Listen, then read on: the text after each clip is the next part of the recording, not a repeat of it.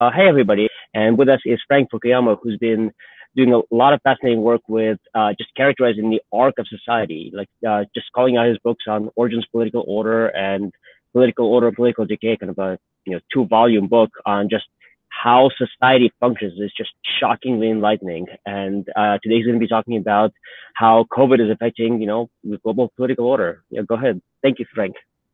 Okay, uh, thanks very much. So I understand I'm talking to a group of modelers. Uh, in the latter part of my talk, I'm going to say something uh, more specific about uh, how you model some of the things that I'm describing, but I'm going to start by a general overview of how to think about how the COVID epidemic is going to affect uh, global politics.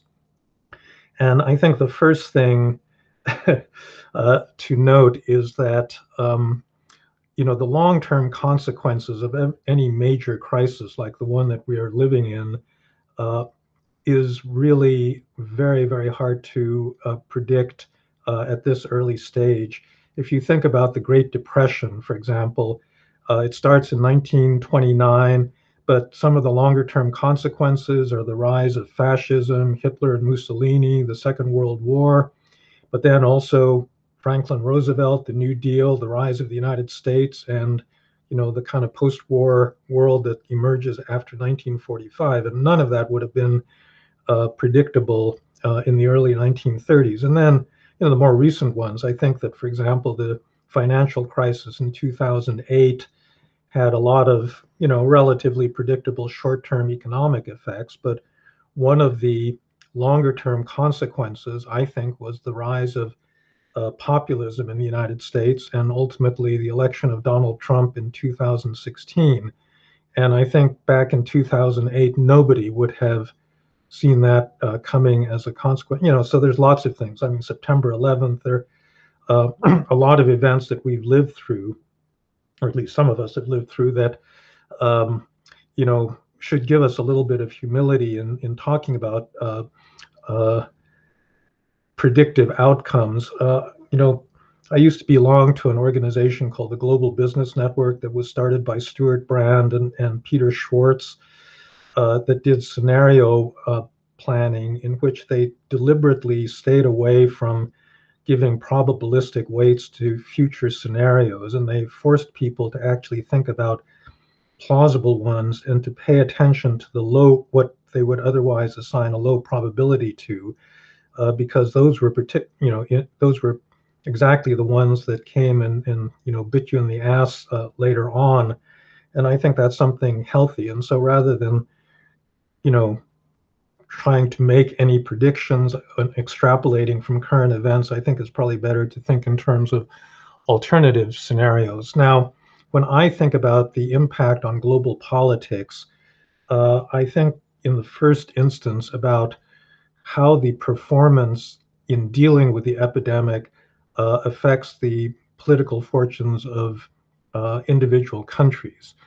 Uh, and the the so and and there's a been a big debate ever since the epidemic started as to what the what success uh, correlates with uh, we can talk about good measures of success. I mean, I think there are probably something like per capita infection rates uh, or per capita death rates. Uh, I'll get into this later. I mean, even those are kind of, it's hard to get good comparable cross-country data because countries measure these things differently. Uh, but if we say we're interested in outcomes, then the question is what kinds of um, characteristics of countries uh, correlate uh, there's been a lot of talk that authoritarian countries uh, do better, for example, than democratic ones. Uh, I think that even observing, you know, a pretty small uh, statistical sample would indicate that that's really not true because you actually get a tremendous amount of variance across both of those categories. And so among democracies, you have some very poorly performing ones like Brazil and the United States, and then you have others like South Korea, Taiwan, Germany that have done actually uh, extremely well. And I think you get a similar kind of variance across um, authoritarian countries. So China actually didn't do well at first. Uh, they got it under control, and now you know they're uh, uh, uh, they're doing well. But Belarus, I think, if you've been following events there, you know, it's the last Soviet-style dictatorship uh, in the former Soviet space, um, and I think that some of the current unrest that's trying to unseat their dictator Lukashenko is actually due to his poor performance in uh, dealing with a COVID epidemic. And so I think that's probably not uh, an explanatory variable. I would think that there are other issues that are more uh, important. Uh, obviously, state capacity uh, matters, and state capacity simply means, you know, do you have a public health infrastructure that's adequately resourced, that has access to sufficient personnel, uh, doctors, you know, nurses, public health uh, professionals, um, uh, hospitals, uh, and the like. I think that there's a basket of social um, factors that are extremely important. For example, the degree of uh, polarization uh, in the country, because that's obviously something that has tremendously weakened uh, the American response to the disease. Um, different countries, you know, behave differently with regard to individual liberties. Some countries tend to be have societies that are much more compliant with orders that come from above, and others, you know, tend to resist them. And so, uh, there are social factors of of that sort. Uh, and then finally, I think there's a bunch of political uh, uh factors that have been really pretty uh, pretty decisive. Uh, in fact, um, we had a little group at Stanford. We I'm I'm part of an interdisciplinary institute called the Freeman Spogli Institute for International Studies, and we have political scientists, economists, you know, public health uh, professionals, doctors, engineers, so forth.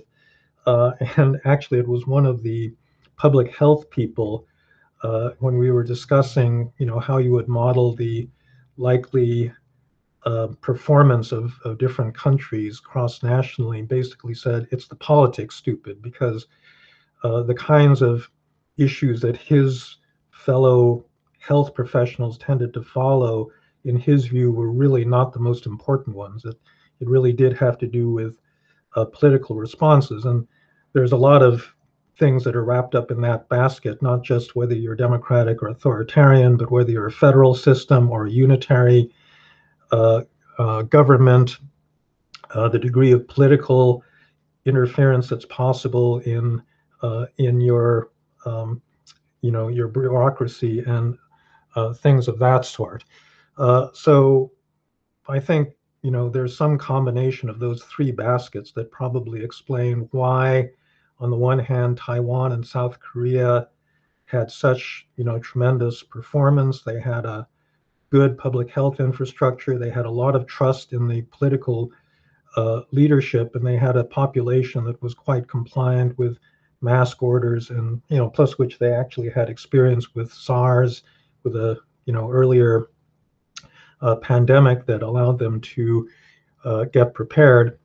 Um, and then other countries like the United States, well, get into longer discussion of that uh, shortly. Um, now, if you think about broadly how the pandemic is likely to uh, affect global politics, I think the consensus view is it's going to be bad from the standpoint of democracy, human rights, rule of law, and those normative political institutions that we tend to favor in uh, in the United States.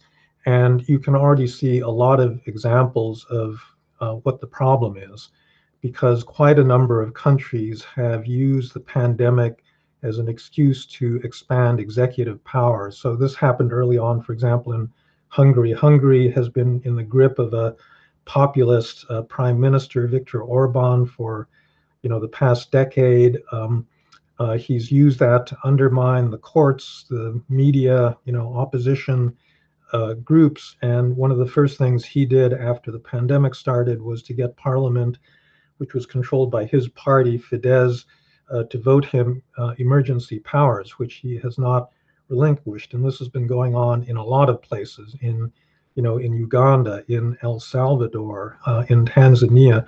Uh, you know, it happened in China as well, because I think the Chinese used the pandemic as an excuse to extend their national security law uh, to cover Hong Kong. You know, they had withheld uh, a crack, they, they'd not cracked down on, on the pro democracy protest in Hong Kong for all of last year while they were going.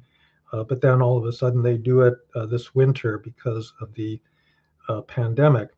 Uh, I think that you've had a period now that's lasted, you know, it really got kicked off in 2016 with the election of Trump and the Brexit vote in Britain, where you've had a rise of global populism.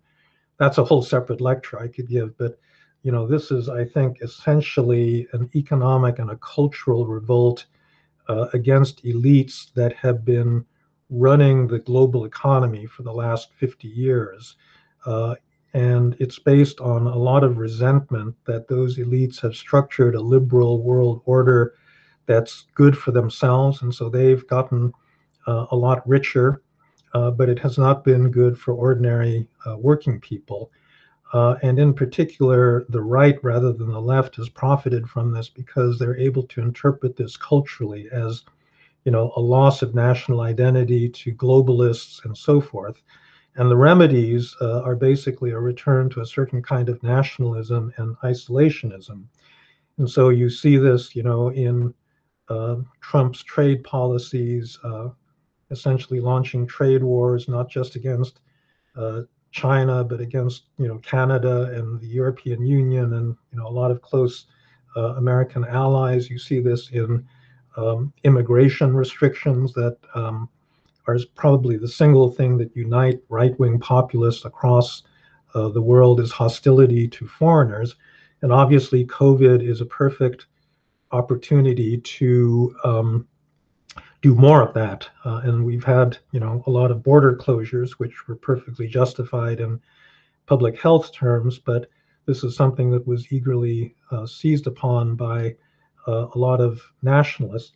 And I think that um, you know, we're actually trying to do a much more systematic study of how this has happened, uh, uh, played itself out in uh, a lot of developing world countries. I mean, that's one of the things my center at Stanford uh, studies. And, and so collecting data on this systematically, you know, we're so preoccupied right now with the United States, and we've not been paying a lot of attention to what's been going on in a lot of smaller countries. But uh, unfortunately, I think the impact on global democracy has really been uh, quite um, uh, quite severe. I think in terms of the realm of ideas, uh, it's also not been good. Um, you know, I think if you look statistically, as I said, across authoritarian versus democratic states, I don't think you'll find a strong correlation between uh, pandemic performance and regime type um, because plenty of democracies have actually done well. But I think that the popular perceptions around the world are not based on statistics.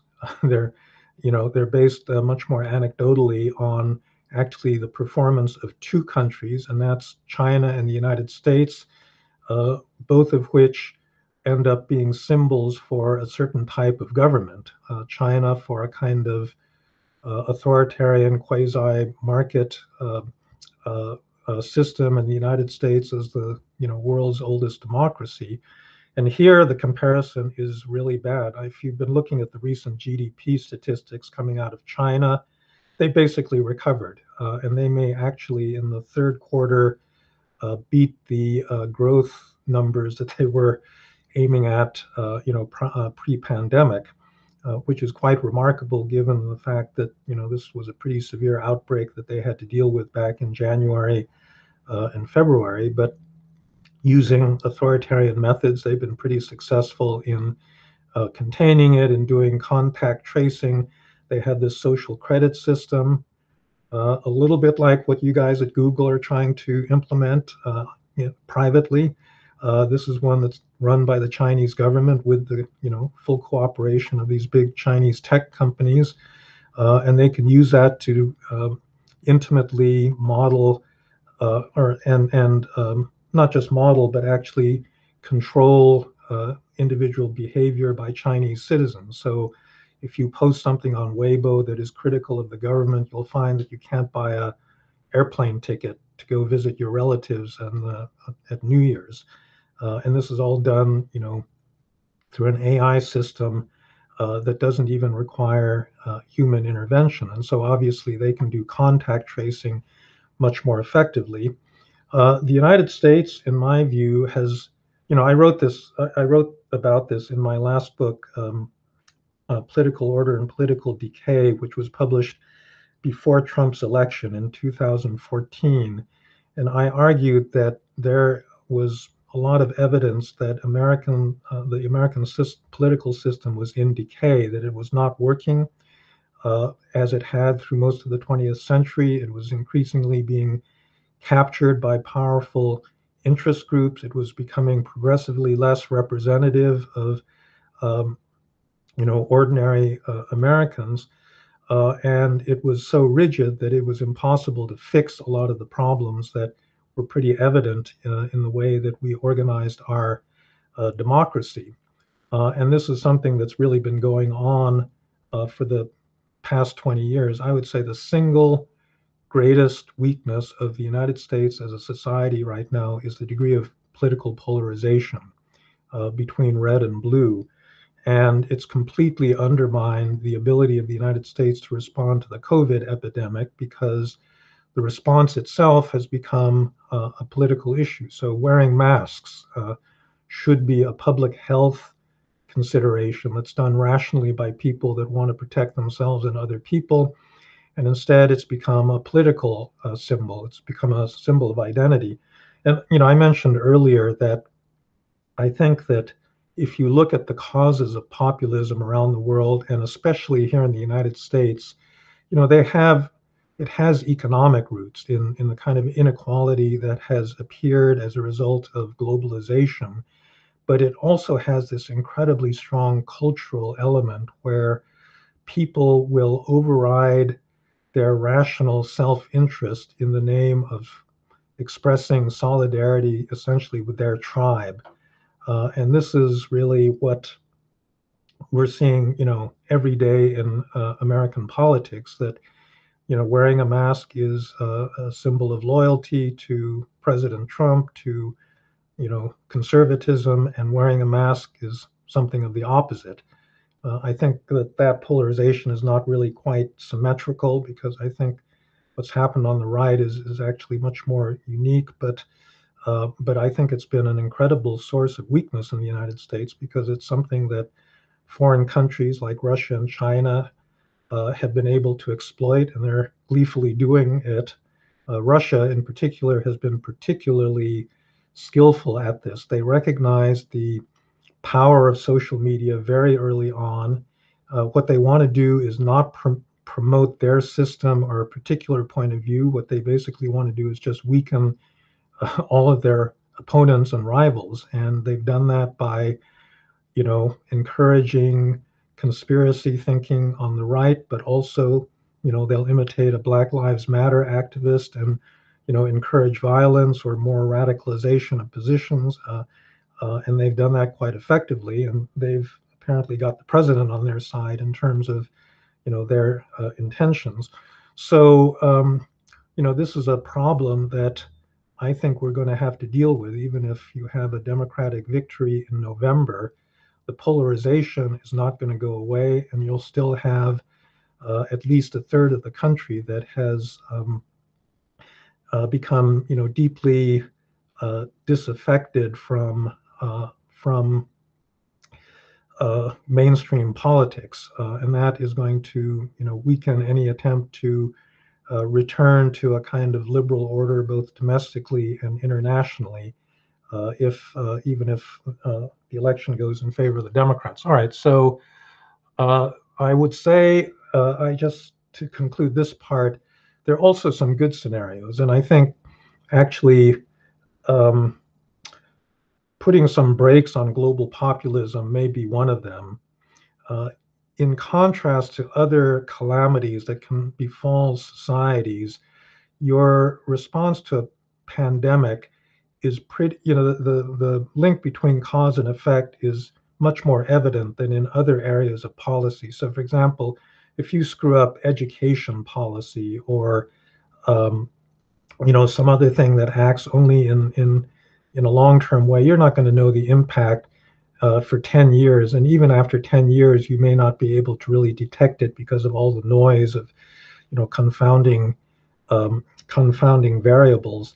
Uh, but with a pandemic, if you really screw up, you're going to see the results, you know, fairly, uh, fairly quickly. And I think that, you know, that's happened in a lot of the countries where you've had populist leaders. Uh, the besides the United States, I'd point to Brazil and uh, Mexico, both of whom elected a populist leader. So this was Bolsonaro, Jair Bolsonaro in Brazil, uh, populist of the right, uh, and uh, Andre, uh, Manuel Andres Lopez Obrador in Mexico, AMLO, who's a populist of the left.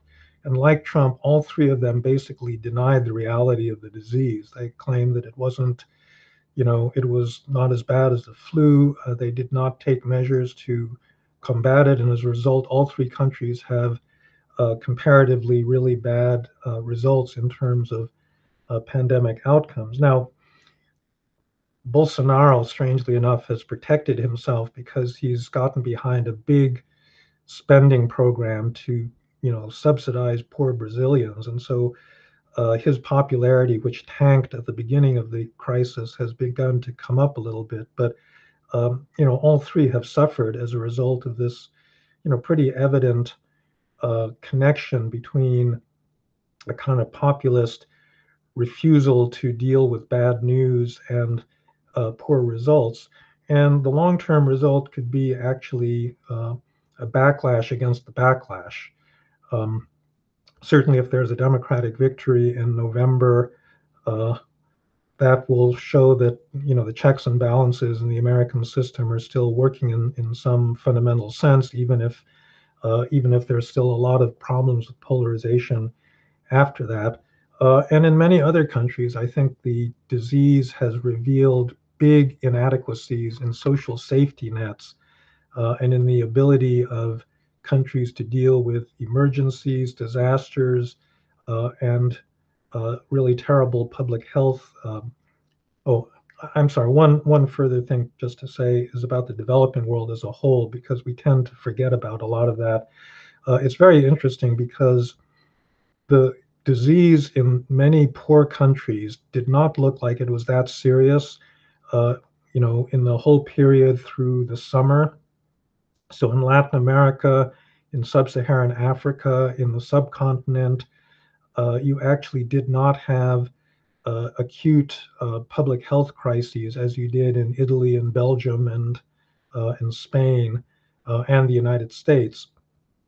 Uh, but that I think has all begun to reverse very dramatically because, you know, it turned out that what a lot of poor countries were able to do was to impose lockdowns in the short run, but they could not maintain them uh, and eventually had to get people back to work. Uh, they've got lots of people in the informal economy that are really not covered by any kind of social insurance.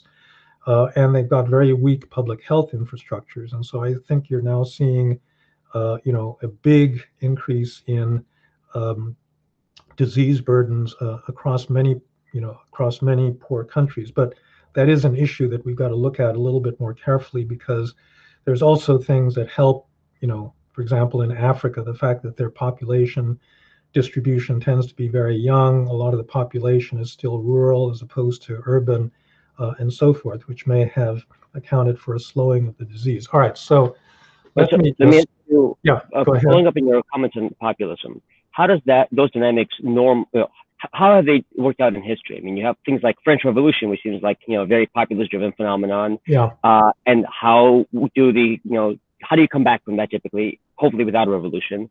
Also, is the um, denial of fact a populist phenomenon that's common, or I mean, Trump could have waved a giant American flag and said we're attacking COVID, but mm-hmm. he didn't. Is that normal for populism, or is that just him personally? yeah. So. Um you know, populism uh, in the current sense, this kind of right wing populism, is not a new phenomenon. Uh, I think it's just the latest manifestation of a something that's actually pretty familiar, which is you know classical European nationalism. Uh, and in a way, you know, some of the earliest populist movements came out of the French Revolution, uh, which was both liberal universalistic, but it was also nationalist. It was about the French nation and asserting the French nation. Uh, and liberal ideas battled nationalist ideas throughout the 19th century. And unfortunately, the nationalist ideas won. And, um, you know, the result was two devastating world wars, the collapse of Europe as a civilization. And I think you had a return to liberal um, ideas and institutions after 1945 because people began to realize that if every nation asserts itself selfishly, both in economics and in politics. You get aggression, you get breakdown of you know world trade, you get um, uh, impoverishment of uh, countries as you did during the Great Depression, and so you create this liberal structure, and the you know the institutional manifestation of that was the European Union, which was really supposed to move Europe beyond uh, uh the nation um, and that unfortunately worked only, I mean, it worked, you know, I, I, I don't think we should minimize the accomplishments of the European Union, but it did not abolish the nation state. Uh, and so national identities remain powerful there. And that's what's getting reasserted in countries like Hungary and Poland and by these populist groups in Germany and in Britain and, and, um, and other places. Now, the question of whether uh, ignoring pandemics is necessary to populism? I would say probably not, although it's interesting. So, in the case of uh, AMLO and Bolsonaro and Trump, I do think that there was probably something connected to their personal style. So, populism usually designates a certain style of politics which is very personalistic. You know, when he got the nomination in 2016 at the Republican uh, convention, he said, I alone understand your problems and I alone can fix them. And if you load up, you know, one person with this kind of responsibility, in a certain way, they don't like to face, you know, unpleasant news or, um, um, you know, associate themselves with with bad situations. And so there might be something of a connection there, although there are other populists. So um, Viktor Orban in Hungary is a populist, and he actually closed down the country and he, you know, took the disease relatively seriously, uh, and so forth. And so the, the, correlation there is is, you know, probably at best uh, a weak one. So it's something like dynamics are where the Chinese government is authoritarian but meritocratic and kind of designed itself. Populism is authoritarian but just kind of random. Uh, yeah, well, actually, that's a good segue into what I wanted to talk about uh, in terms of how you would model uh, national outcomes, because I think that actually leadership is an independent variable. Uh, you know, I felt this. I mean, I've been having a perpetual argument with the economists, you know, that that I deal with, uh, who want to look at economic uh, uh, variables and then they confront political variables like leadership, and it's like a random number generator uh, that really screws up their models because it's very, very difficult to predict the decisions that individual leaders will make. Uh, so, but may, maybe I can just run through this, right? So, uh, this came out of this discussion I was mentioning where this um, doctor colleague of mine, you know, uh, said it's the politics stupid. and uh, I think that, you know, if you really wanted to model this question of who's going to do well politically, uh, I'm sorry, who's going to do well in dealing with the epidemic, you know, first of all, you have to define the, the dependent variable. Uh, and as I said, there's a lot of problems with both per capita infection rates and per capita death rates because they're measured differently across countries. So you'd have to do a lot of, you know, data adjustment there, but that's a solvable problem. Uh, but when you get into the uh, independent variables that would explain those outcomes, uh, I think you, there's really quite a lot of them that have been linked to specific country outcomes that I think in a general model you would have to take account of. And I put them into three categories, right? So the first category would have to do with uh, what you'd call, you know, epidemiological, geographic, or demographic factors. Like political scientists would say that these are country fixed effects. You know, if you're doing a, a, a multiple regression, cross country regression. Uh, and so those would have to do with the way that, you know, the particular epidemic interacts with different kinds of geographical and demographic factors. And so, for example, physical isolation. If you're a small island nation like New Zealand, it's much easier to close yourself off than if you're a country with really long land borders like you know the United States or Russia or uh, other places like that.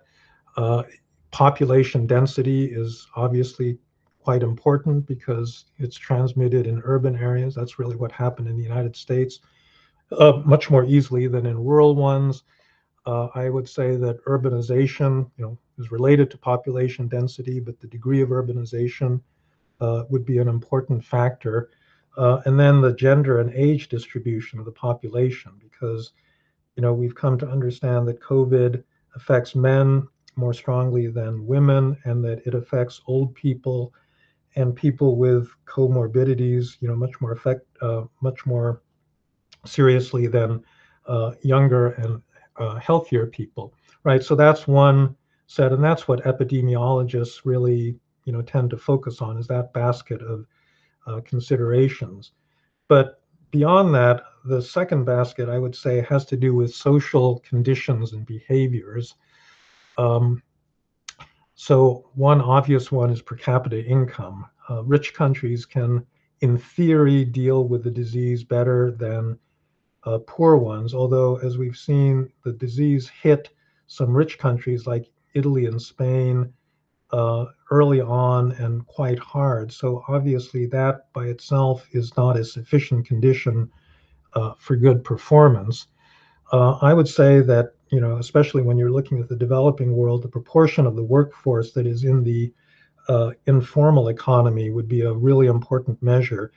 Uh, in Latin America, for example, almost every country in Latin America has over 50% of its labor force in the informal sector, meaning they're not registered businesses. They don't have access to, you know, I mean, most social benefits like health insurance, pensions, um, unemployment insurance are all tied to uh, work in a formal uh, registered company.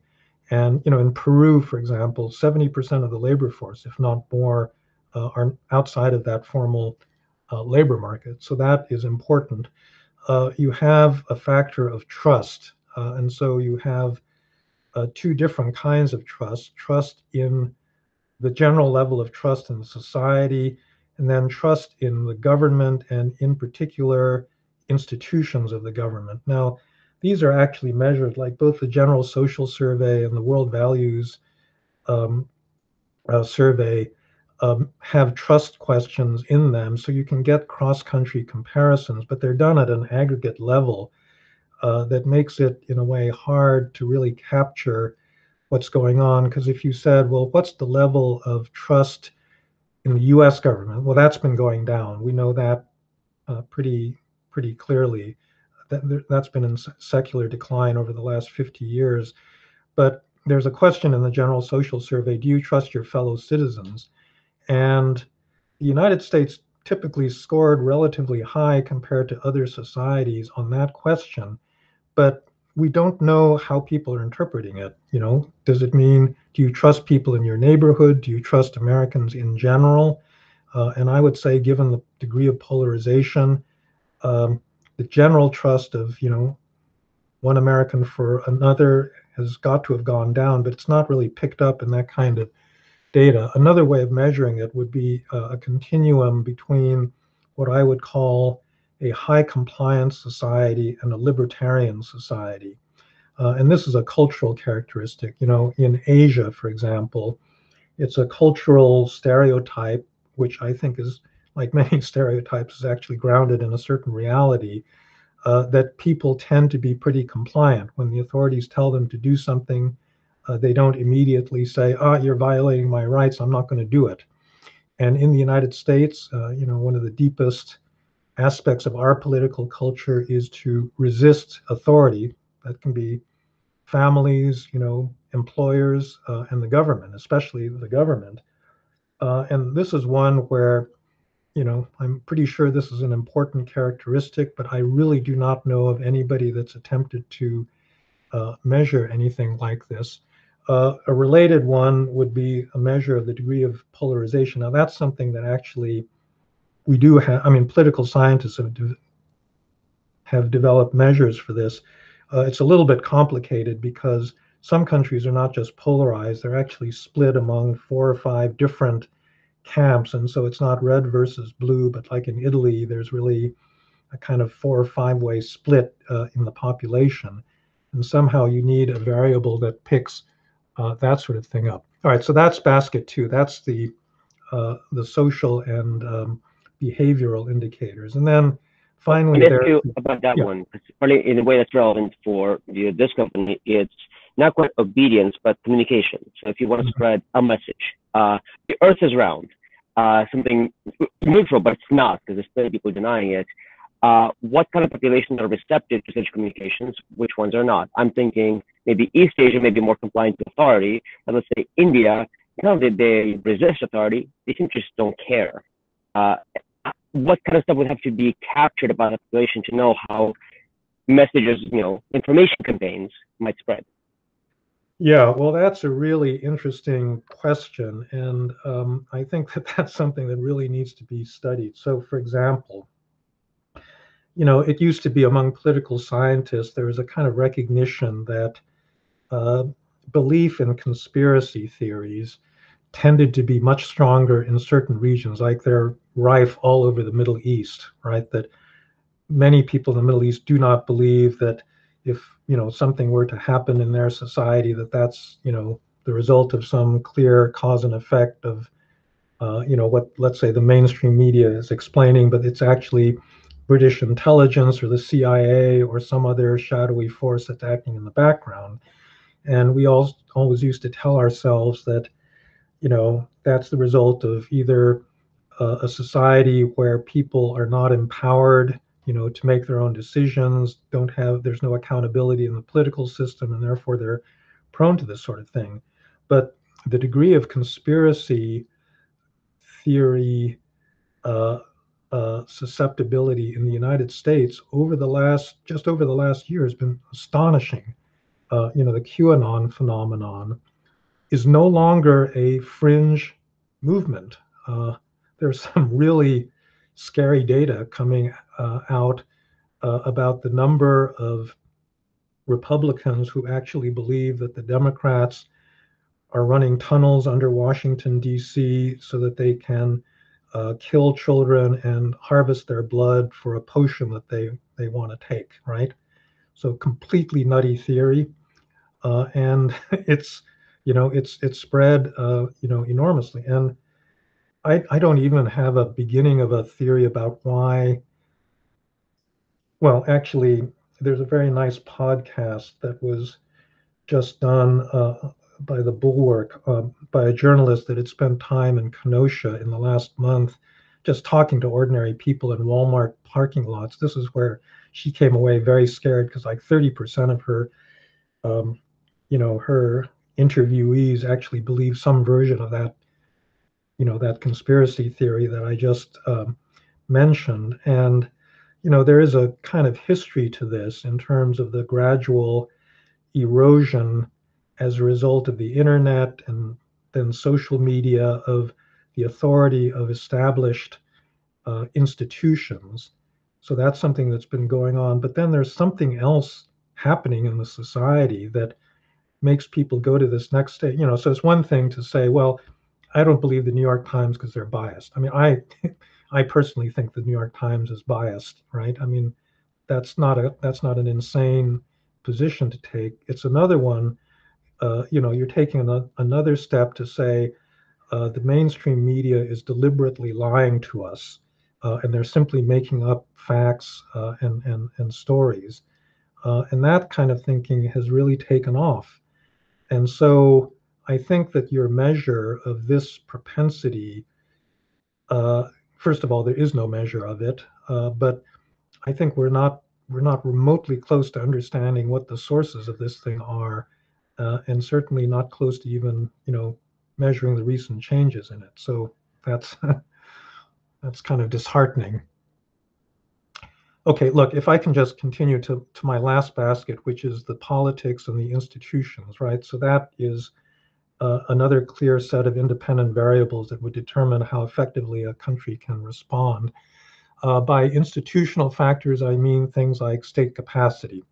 You know, what does your public health system look like? How well resourced is it? How many doctors and uh, and nurses and clinicians do you have available to your population?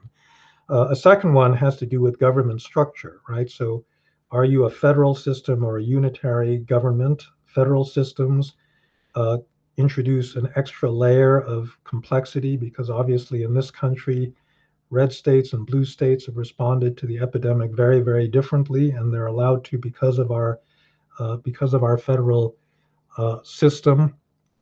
Uh, I think that another important political factor is the degree to which there's political control over the bureaucracy. Uh, there's this really interesting story developing out of Sw- Sweden. Uh, there's the, you know, the public health official Anders Tegnell is the one that devised this really different Swedish policy of not ordering a general lockdown uh, and allowing people to continue their lives in contrast to everybody else in Scandinavia. Uh, and, you know, he could do this. It wasn't a politician that made that decision. In the Swedish constitution, bureaucrats are given authority over major health policy decisions. And so the prime minister and the cabinet in Sweden did not weigh in on this decision not to lock the country down, which is really quite remarkable. But that obviously, you know, made Swedish policy very different from uh, policy of other European countries, right? So that's an issue. In our country, we have a very politicized bureaucracy to begin with, you know, 4,000 political appointees across the federal government. Uh, and that's obviously been a sore point in terms of this fight between, you know, the political leadership and, and, and health professionals. And then finally, so we get back to the question that um, uh, that Greg uh, raised, which is the nat- nature of leadership. Uh, and as I said, uh, this is, you know, I, I, just think this is a random number generator because, um, you know, I've seen political scientists try to do things like model, you know, the likelihood of particular kinds of leaders emerging. Uh, but in the end, uh, I, I think that's kind of a hopeless task because it's some you know combination of individual characteristics and then social structural factors that make certain leaders appear. You know obviously you have to have a society that is open to a certain kind of message but then you actually have to have somebody that that you know that creates the message. And i think trump is kind of a genius. You know he saw that there was an opening for a certain kind of populist message and he walked right into it. And if he had not been around it's you know, there's no particular reason to think that there would have been another Trump that would have done exactly the same thing that that he did. Uh, so this is why I think overall within these three baskets, some of these variables have existing measures. Um, uh, a lot of them are not, you know, terribly good. Uh, some of them have no measures that I can see at all, and I think would really have to be uh, measured. If you guys can come up with um, you know, metrics for uh, some of those variables that I think are really not covered by existing data sets, I'd really be interested in in uh, in hearing that. Uh, so maybe I should just stop there, and uh, you know, we can open it up more generally. So before asking anything, uh, what does everybody else have to, you know, thoughts, comments? I have one question actually. So this is Ozgun. Um, thank you so much for talk. It was uh, amazing. Um, so I'm from Turkey. Uh, we have Erdogan, which kind of reminds me of uh, you know, Trump and all. So the interesting thing is, um, in Turkey we don't have electoral vote like here. but we do have somehow a, represent, a suppression of representation.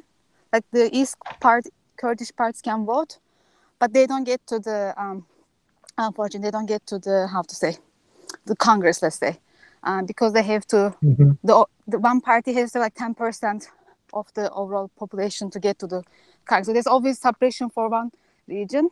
In a way, I feel here uh, because of the electoral vote, some parts of this country are suppressed in terms of how they are getting represented in terms of the final result in the whom we select. So I wonder if you observe such a correlation between in so-called democracies when there is like regional suppression, we get to have these populist leaders and they tend to stay a long time. Thank you. Um, well, okay, uh, there is a broad generalization that you can make about populist leaders that is actually pretty strong. Um, I have a colleague in the political science department, Jonathan Rodden at Stanford, who's written a very nice book uh, called Why Cities Lose. And the single variable uh, that he demonstrates that correlates the most strongly with populist voting across many countries, including Turkey, is population density.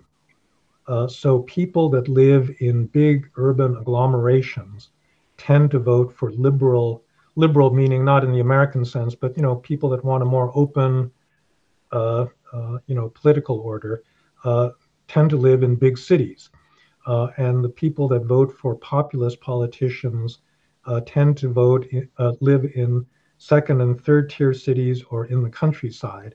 And that's absolutely true in Turkey, right? So in Istanbul and Ankara, Erdogan is not that popular. And in fact, Istanbul managed to elect, you know, an opposition politician uh, this past year. Quite remarkable that uh, that happened. Uh, but the base of support for Erdogan is, uh, you know, in the countryside uh, and and among kind of lower middle class Turks that, that don't live in those big population centers. And that's true everywhere. That's true in Hungary. You know, people in Budapest don't like uh, don't like Orban, and it's absolutely true in the United States. in fact, um, Trump yesterday said that uh, our performance in COVID wouldn't be that bad if you took the blue states out. and uh, uh, you know that's true because the epidemic hit these densely populated areas, and that's where people vote for uh, vote for Democrats. Uh, and his uh, voting base is really anywhere but these large population centers. Even in red states, you know, the state capital and the place where the state university is usually votes Democratic, and the rest of the state, uh, you know, votes uh, Republican. And so that's a really strong correlation that I think uh, explains, you know, it's related to the cultural division. It, it, reflects, you know, the economy, right? So people that can benefit from the liberal, open economic order tend to live in big cities with access to the global economy. Uh, and, you know, people that live in the countryside have less mobility, less opportunity, and so forth. But culturally, it's also very different because big urban agglomerations are pluralistic. Uh, you see lots of different kinds of people. You get used to having foreigners living near you, and that doesn't happen in uh, more rural areas that tend to be ethnically or racially, religiously much more uh, homogeneous. And I think that that uh, solidifies the, you know, kind of cultural solidarity that has been driving a lot of people to vote for uh, for populists. So that I think is what connects Turkish populism with American populism.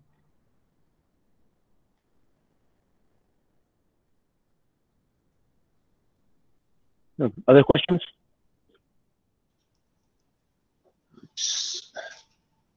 Hey, um, I've been reading this guy, Peter Turchin, who has a very the other way around view that like competition among elites makes them put out these messages against the state and then the sort of population mostly follows that. But he seems to, you know, be very good at measuring the number of nobility that there are in a medieval state and pretty bad at kind of quantifying this in a modern industrialized state. I'm just curious how you think about that. Yeah, Peter Turchin's an old friend of mine. I mean, some of the stuff that he's done is pretty interesting. Um, so I think you know a lot of the issue really has to do with um, how you define an elite and uh, and how you define the kind of power that they hold.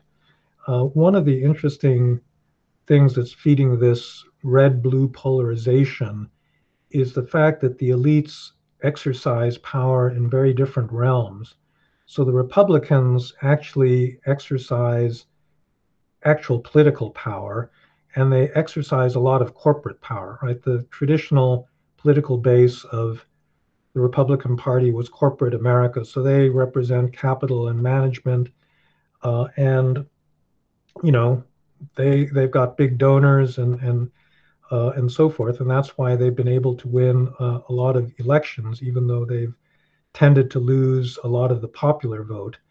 Uh, but, you know, liberals uh, are heavily represented in the elites as well.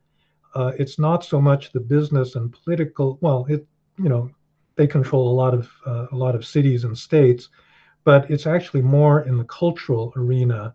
So if you look at Hollywood, you look at the mainstream media, you look at academia, you know where I live, uh, it's pretty uniformly uh, it's pretty uniformly liberal, and those are two very different forms of power. And I think a lot of the um, you know, what makes this present moment in the United States particularly uh, fraught, uh, I would say, is the fact that many people on both sides of that divide think that they're facing an existential choice in November and an existential fight. That, you know, on the right, you hear a lot of people saying, well, the America we knew and loved is is simply going to disappear if the Democrats win uh, because you know religion, family, you know, all of our value. And I hate to say, but for many people, it's basically a certain vision of white America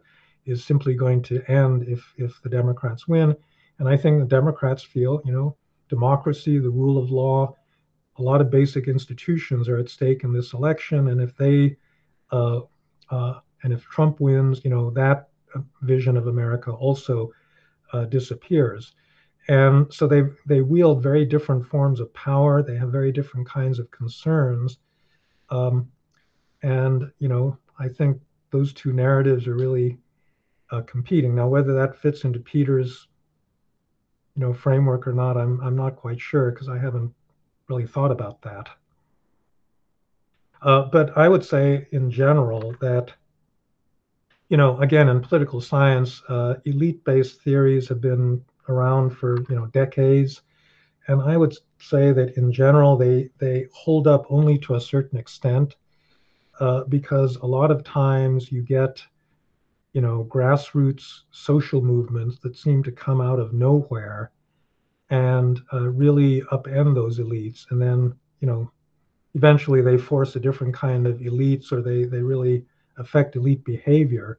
But I've I think we've seen a, a you know a version of this because you know 10 years ago uh, you had center left and center right elites running both the Democratic and Republican parties that were actually agreed on a lot of basic issues like how to manage the global economy or whether the global economy was a good thing and it didn't actually correspond to the interest of a lot of people at the grassroots and I do think that a lot of the pressure was not it, it wasn't you know the situation we got to the present not by the elites competing and manipulating things.